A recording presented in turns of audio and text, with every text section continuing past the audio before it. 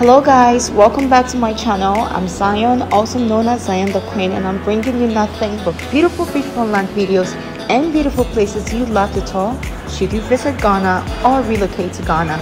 In order not to miss any of my videos, kindly subscribe and hit the notification bell to get notified on each of my uploads. Also don't forget to comment, like and share. So guys, before I proceed, I want to talk about an interesting video that I saw online from Good Morning America and yes, Good Morning America was in Ghana to shine the spotlight on Ghana on one of their episodes and I just want you to watch the videos and I will be back.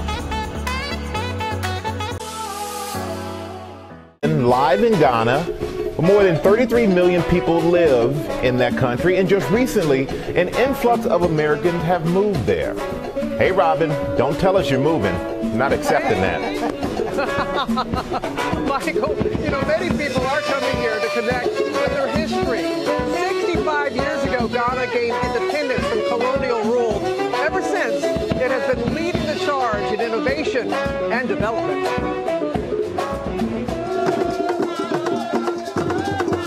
Ghana, with its echoing drum beats, rich rainforest, expansive beaches, and deep rooted history, is now ready to take center stage. Tonight, the Global Citizen Festival comes to Ghana for the very first time. Host Danai Gurira welcoming 20,000 fans in person, audiences tuning in worldwide.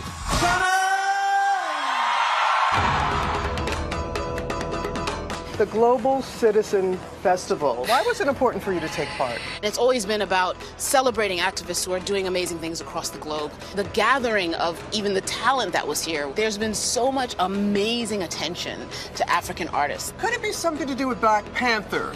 Why do you feel it had such an impact? The world was ready to really take in Africa in a whole new way, in a way that shows our specificity, our excellence, our diversity, our coolness, you know. it really gave an esteem to the continent and an attention from the world that I think it was ready for. It's Ghana's mission to thrive as a cultural hub and tourist destination, but also as a place to call home. I'm happy here. I feel a sense of alignment. I feel a sense of fulfillment. I think just as a black American coming to Ghana, it's a return home. An estimated 5,000 black Americans have relocated to Ghana over the past two years. To Ghana. Including podcast host Demetria L. Lucas, who says she feels the excitement a possibility. You see that there's cranes in the sky, literally. Like they're they're building the city. And for me as an artist, like I can feel the energy. I feel like I'm living in the middle of a renaissance. And a renaissance is exactly what African leaders on Cape Coast hope to create. We are looking at Africa without borders. It's happening. The future is Africa. It's never gets old. Influenced in part by the success of Marvel's Black Panther, proposals like Wakanda One, envisioning bustling futuristic cities that honor the history and embrace what's to come. We want to make sure Wakanda One city is futuristic, it's a sustainable energy city, there's hope for change. And we have to teach our children to empower people using technology. That innovation is something artist David Alabo is also exploring. It's really cool to look at these names. Two artists sharing their love for culture. Tell me about this astounding piece of art. I was thinking about how can I reinterpret classic tarot cards in an African perspective. And obviously, like, I had to put the Black Panther in because those movies have been a massive inspiration for me. Here at the newly built Freedom Skate Park, creativity flows through this space designed to connect the young people of Accra to the arts. Talk to me a little bit about this wall. This wall includes all the names of everybody who has helped create this place from Virgil Abloh, may you rest in peace. We had Kendrick Lamar here the other month, and obviously you here. It inspires us, you know, when you come and you see what we're trying to do as well. Oh my goodness. I'm back now with Danai, and I love how you were trained on the monitor watching that piece with such pride because you know that people are seeing Africa now in a different light. Yeah, I mean, it, that is really, as I was telling you yesterday, Robin, it, my whole adult life, I mean, when I moved to the United States in 19, I've always wanted to, like, just turn the camera a little bit towards the continent because there's so many brilliant people. Every time I come here, I get blown away by people like David and so many more people we'll see today. And it really, really is so exciting to just have that happening. And, and you know, the aspect of how the film might uh, make people look more to the continent and, mm-hmm. and how, you know, it's what was already here. Right. It, it, it actually, the, the movie is inspired by the real. Not the other way. Not the other, other way. way around. No. And we saw though that Wakanda One, the futuristic city. Yes. What is your hope for the future of Africa? Oh gosh, that's that's that's almost an emotional question. I mean, there's so much that um, I just want to, I want to see the continent and its people allowed to fully realize their potential, and it's happening. It's happening more and more and more. Mm-hmm. And the more it happens, the more powerful this continent becomes, and the world cannot ignore it. No, they cannot. Well, thank you so much. Ghana is a beautiful culture-filled country located in the western part of Africa, a small country with impressive tourist sites to show the world. Ghana comprises of 16 regions and every region boasts of a place you can explore. Now on your trip to Ghana, try to pull yourself away from the idyllic places and explore some of the lesser known areas and enjoy your stay or vacation. Visit the Umbrella Rock. The Umbrella Rock tourist attraction in Esiafa Manfrom in the eastern region is found at the site of the Boti Falls in Yilo Krobo district. As the name implies, the Umbrella Rock is quite unique and about 15 to 20 people can comfortably take shelter under it.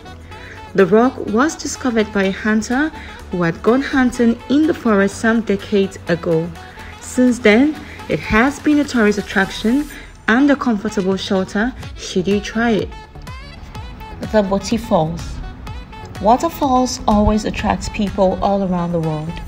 Located in the eastern region in Ghana, it takes its source from the Pon Pon River. The 30 meter high seasonal falls is set within the Boti Falls Reserve. It boasts of enormous trees, ancient caves, and sites including the Umbrella Rock, the three-headed palm tree, Africa Map Rock, Prayer Rock, Genital Rock, Giant Footstep Rock, Tree on a Rock, Ancient Cave, and Picnic Grounds. Boti Falls is truly one of the natural wonders of Ghana with breathtaking sights. The Mole National Park Located within the Savannah Land Tourism Destination Area, Mole is Ghana's first largest, most prestigious protected area It has an outstanding natural, physical, historical, and cultural values. Mole is rich in biodiversity with 742 vascular plant species and over 90 mammal species. The park has elephants, buffaloes, kob, western hartebeest, roan, antelope, oribi, and many more. Also rare and endangered species include the leopard, lion, yellow-backed duiker, black and white Colobus monkey, some reptiles, amphibian species, and 120 butterfly species. Mole shares its borders with 33 French communities in two of Ghana's region, Northern Region and Upper West Region. Visitors can visit not only the park, but some of these neighboring communities and explore their rich cultural heritage, architecture, and traditional livelihood activities. Nearby tourist attractions include the Paga Crocodile, the Pikworo Slave Camp, ancient mosques, the Larabanga Mystery Stone, Daboya Smart Village, and many more. The Zaina Lodge. After having the best wildlife experience and unforgettable memories, don't forget to visit and relax yourself at the Zaina Lodge, which is nestled in the heart of the Mole Forest. Beaches. Ghana has huge appeal for beach lovers. One of the most picturesque destinations in Ghana are places by the beach. Beautiful blonde beaches and long stretch of crystal clear waters makes this one of the most inviting areas to dip your toes in the sea or get yourself a beach chair for the view. Some beautiful Ghanaian beaches include the La Palm Royal Beach in Accra, the Busua Beach resorts in the western region, the Bojo Beach in Accra, the Anomabo Beach resorts in the central region, the Labadi Beach in Accra, and Cobra Beach in Axim, and many more. Castles Castles in Ghana with the architectural heritage is a brilliant way for visitors to understand what Ghana looked like few centuries ago. The coast of Ghana has countless ancient castles and forts, marking the beginning of slaves' perilous journey during the era of slave trade. These fortresses were the last memory slaves had of their homeland before being shipped across the Atlantic, never to return again. From holding gold, ivory, and other wares, the castles, as time went on, was used to imprison slaves who were reduced to yet another commodity. The majestic fortresses housed dark dungeons, overflowing with misery and despair, right up until the slave trade was gradually abolished by each of the colonial powers in the first half of the 1800s. Some of the 32 castles and forts include the Cape Coast Castle, Elmina Castle, Osu Castle, Fort Orange, and Fort Sebastian.